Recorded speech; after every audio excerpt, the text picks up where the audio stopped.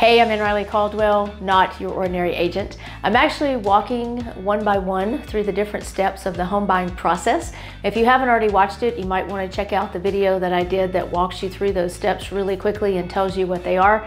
Uh, number four in that process is making an offer.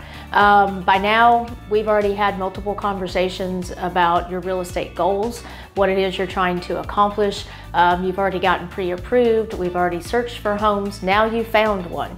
So there is a form here in Middle Tennessee called a purchase and sale agreement. There are also usually other uh, documents uh, that go along with that agreement depending upon what type of loan you have, depending upon also um, there will just be a confirmation of agency about who, uh, what real estate brokerage and real estate agent is representing the buyer and the seller. There will be some property condition forms that the seller will have filled out. There'll be some other things going on that we will be talking about and going over that are very specific to the home that you have chosen to make an offer on. But the main agreement that we are concerned about is filling out the purchase and sale agreement. Um, hopefully, if we were able to talk in great detail in time before we just went out and started searching for homes. We will have already gone through this agreement and you will understand the overall uh, terms of the agreement. What we're really hopefully doing at this point is filling in the blanks. Um, we're filling in the boxes. We're making final decisions about things that we've already talked about. Uh, the, some of the main things in the purchase and sale agreement is other than some specific property details that have to be filled in. Obviously purchase price, Purchase price is usually the number one thing that comes to mind, both for people making the offer, which would be you, trying to buy the home, and sellers and trying to decide between offers.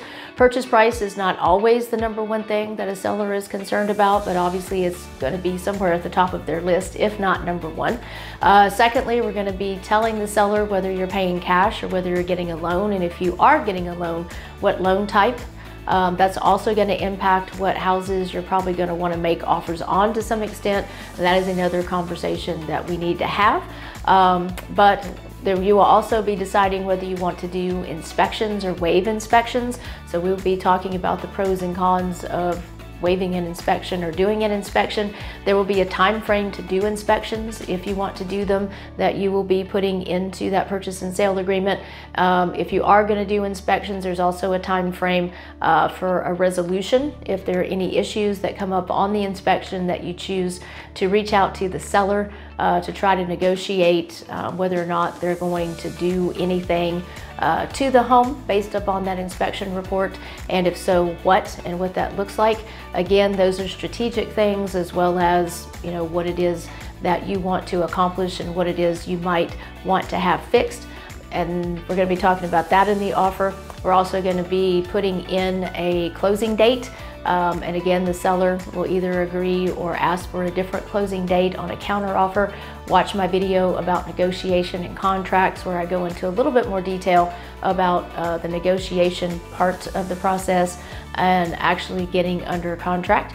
Um, also, there are potentially special stipulations that we'll want to talk about.